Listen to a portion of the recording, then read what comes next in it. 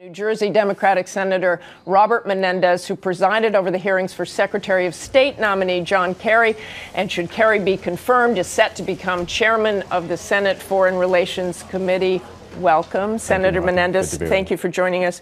What's your reaction to what John McCain just said? I mean, obviously, you've been working together on this, so you know some of how he feels about this um, with in terms of immigration. Immigration. Well, I don't look, think you've been working together on some of that other stuff so much. Well. Uh, I think John said it well. Uh, I am cautiously optimistic, and as someone who has spent years between the House and the Senate uh, trying to get comprehensive immigration reform, I'm cautiously optimistic. I see the right spirit. Uh, I see things that were once off the table for uh, agreement and discussion being on the table with a serious uh, pathway forward. Of course, it will have the the uh, enhancement of the border security. We've done already a lot. We have more customs agents. We have more border patrol. We have more physical impediments than any time in history.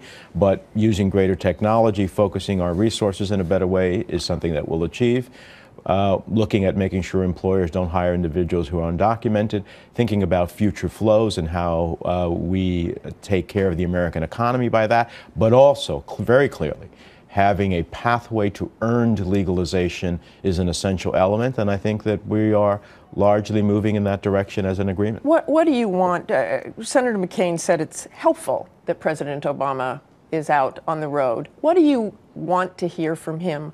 How committed is he to getting this done. He also wants gun control.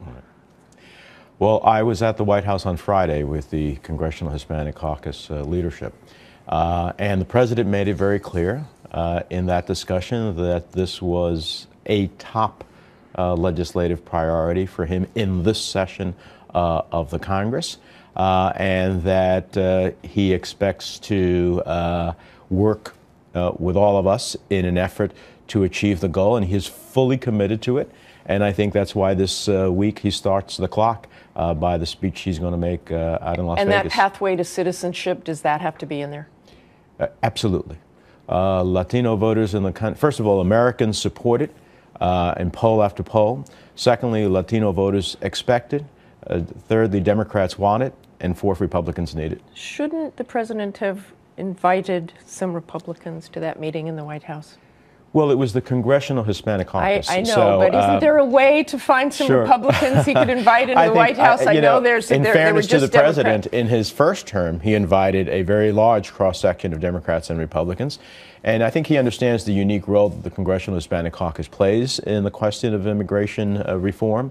Uh, and that's why he wanted to hear from that leadership. Uh, but I'm sure that those bipartisan meetings will take place. And most importantly, uh, I am really uh, pleased by the nature of the bipartisan meetings that we are having with a group of six senators, three Democrats, three Republicans. And I understand a similar process is taking place in the House. That's real movement forward. If you think about it, Martha, at one time, pathway to earn legalization was off the table table.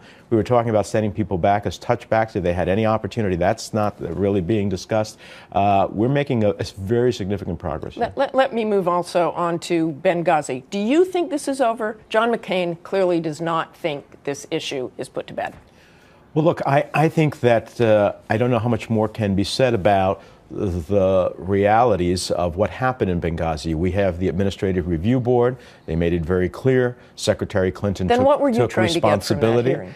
Well, uh, first of all, uh, did my, she make mistakes? My, my Republican colleagues insisted on having that hearing before we could move on to Senator Kerry's nomination, uh, and I thought it's important to hear from the secretary to close the chapter, uh, where in fact she is moving forward, as she said, on those 29 recommendations by the Administrative Review Board.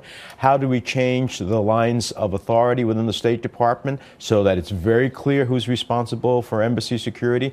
How do we change which, which they said they've implemented implemented most Absolutely. of those. Absolutely, and, and, and, that's very important so that, in fact, there are very clear lines of division. And also, I, I how, do, how, do, how, do, we make sure that, in fact, we look at intelligence in a different context? That there doesn't have to be a specific threat, but we look at the environment in any place in the world in which our foreign service is operating. I, I wanted to move on to Chuck Hagel as well and mm-hmm. his nomination.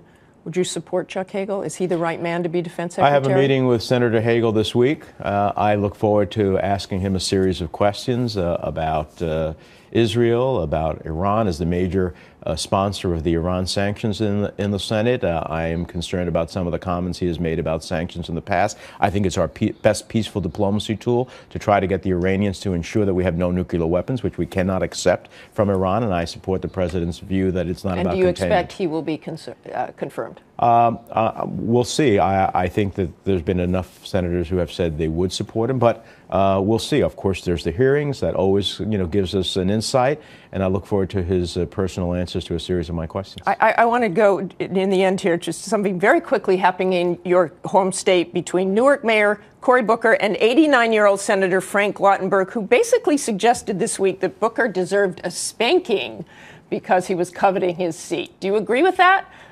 Uh, Should Cory Booker be making moves now? Uh, you know, that election is next year, and uh, all of the uh, back and forth now is something I'm, I'm really not focused on. Is Booker on. being disrespectful? Uh, you know, that's a that's a question for Senator Lautenberg and, and uh, Mayor Booker. Because you're clearly not going to answer it. Thank you very much for joining us, Senator Menendez.